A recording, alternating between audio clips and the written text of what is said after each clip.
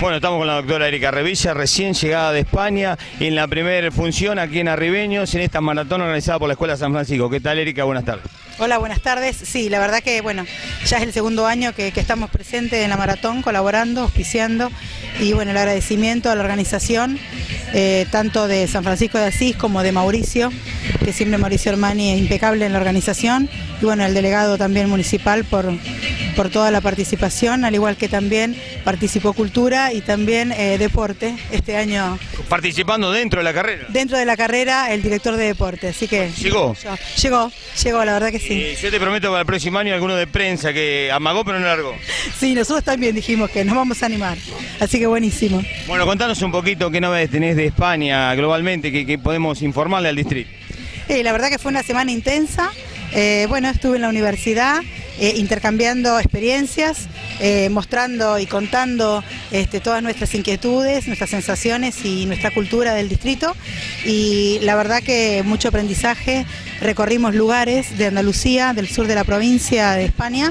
Y, la verdad que, bueno, viendo las costumbres, viendo cada uno de los pueblitos, pueblitos grandes, pueblitos pequeños, localidades de 20.000 habitantes, de 2.500, donde se realizan este, determinadas actividades y que la verdad lo llevan como un sello territorial este, muy importante, una experiencia inolvidable. ¿Cómo estamos para vos, según tu opinión, eh, con respecto a los españoles?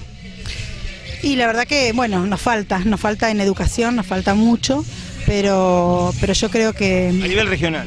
Y a nivel regional, bueno, nosotros tenemos un producto muy importante que, que es regional, que es la soja, eh, que la verdad que esto a nosotros también es como, una, como un sello de nuestra zona, de nuestra marca, pero, pero sí, yo creo que, que por ahí nos falta, en que, lo tomo como, como para destacar, es la limpieza, que ellos tienen la educación, eh, tienen contenedores, tienen separación de residuos, como bueno, nosotros ya comenzamos en Ascensión, pero también este, tienen un sistema subterráneo que, que es importante, que, que, bueno, nosotros lo vamos a hablar con el gabinete y yo les voy a, a indicar todo lo que he visto y todo lo que ojalá se pueda aplicar en nuestro distrito. Seguramente un tema fundamental fue la basura, Erika, que es una preocupación del municipio de que arrancase la gestión. Sí, el medio ambiente y, la verdad que no- nos, nos falta mucho porque es algo que, que, bueno que siempre se remarcó que el Estado solo no lo puede hacer, que lo tenemos que hacer en el conjunto, eh, tanto los particulares como toda la ciudadanía en general. Es un aprendizaje y es una cultura definitiva, no es marketing, no es para un momento, así que va a llevar muchos años, pero lo vamos a lograr.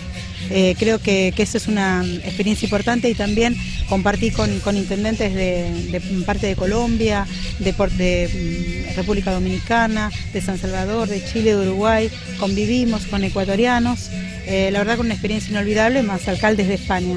¿Qué experiencia y qué, digamos, te sirvió para aplicarlo ahora acá en el distrito, digamos?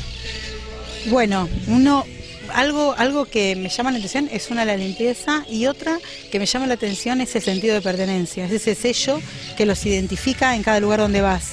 Eh, ya después voy a especificar en los lugares que nos han llevado como experiencia, más allá de que estuvimos en la universidad con diversas actividades, también nos transportaron a lugares a donde veíamos la realidad, como por ejemplo una cooperativa de, de frutos, eh, que la verdad fue impresionante eh, y que la verdad trabajaba toda la comunidad en pos de ese producto. Eh, eso me, llamó mucho la atención, como en otra localidad, Jabugo, Jabugo este, en el jamón, jamón ibérico, también una localidad pequeña de 2.500 habitantes en, el sur. y la verdad una- sentimos todos la sensación de, que la verdad amaban su tierra y me parece que eso es lo que nosotros tenemos que lograr. Organización. Organización y llevar este nuestro sello personal y nuestra marca, identificarnos, que es lo que nos Fuiste falta. distinguida como en España, ¿no? Como una única alcalde femenina, mujer.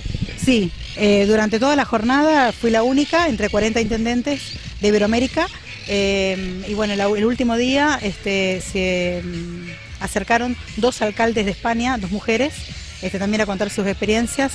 La verdad fue muy enriquecedora, además firmamos convenio y bueno, y traje un certificado y tengo también becas a futuro.